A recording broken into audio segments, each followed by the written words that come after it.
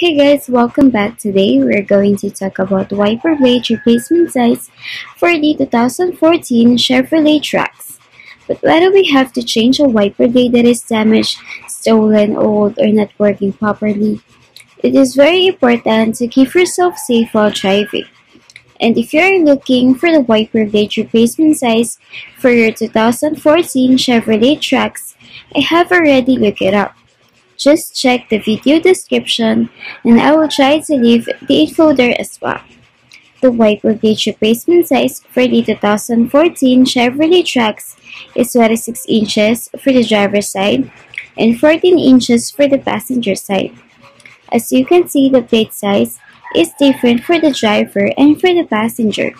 So once again, the wiper blade replacement size for the 2014 Chevrolet Trax is 26 inches for the driver's side and 14 inches for the passenger side.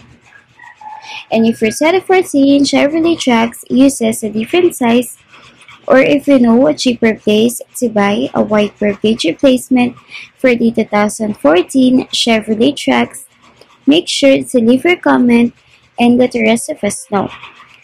Don't forget to check the video description for the recent price. Thank you for watching this video. Please like and subscribe.